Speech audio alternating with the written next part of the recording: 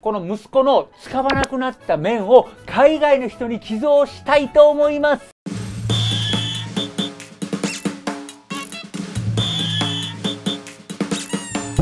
百秋武道具店の動画こんにちは、百秋ブログ店のうがです。やってますか？今日は今から、この息子の使わなくなった面を海外の人に寄贈したいと思います。今日たまたまね、また全県連のホームページ見たら、全県連が皆さんの使わなくなった防具を預かって、まあ、寄贈してもらって、それを簡単な修理と必要な国に全県連が仕分けをして送ってくれるっていう素晴らしい事業があるみたいなんですよ。別に今日の動画全県連のステマじゃないからね、全県連からお金もらったりそういうのしてないんで、完全にに個人的な面です。もう使わなくなった防具ある人は、ヤフオクやメルカリで売るのもいいんだけど、もしよかったら剣道の普及のために海外に送ってもらうっていうのはいかがでしょうか？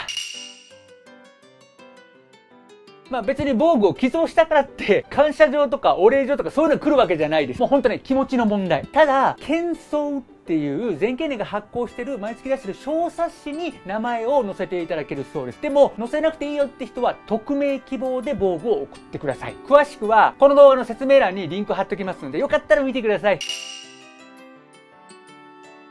でもね、使わなくなった防具何でも送っていいわけじゃないんです。実は注意点があります。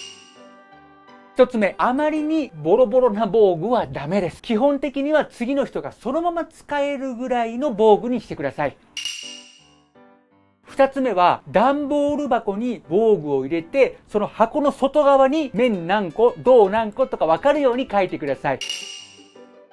三つ目は、剣道着袴に関しては選択してから送ってください。4番目は、市内は寄贈の対象外です。受け付けてもらえません。5番目、送料はこちら側が負担します。まあ、その後、海外に送るのは全権連がもちろんやってくれるんだけどね。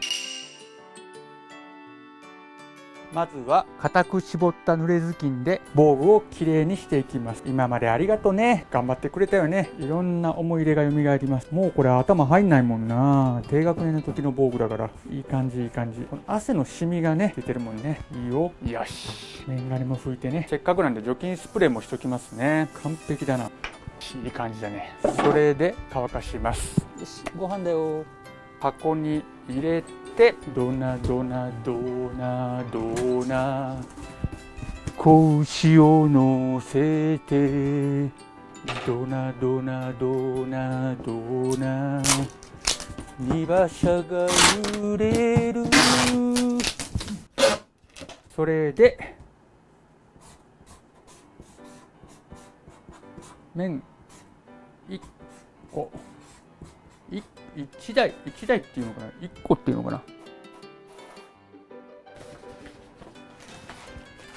これを貼って完成と。いってらっしゃい。まあ麺のお手入れをしてたらこの麺と一緒にあんなことやこんなことあったなっていう思い出が蘇ってきました。また次の人に気持ちよく使ってもらえたら嬉しいです。ぜひ皆さんもまだまだ使えそうな防具が眠ってたら全県連に送ってみてください。今日の動画の説明欄に全県連のリンク貼っておきます。今日もご覧いただいてありがとうございました。またいつかお会いできるよ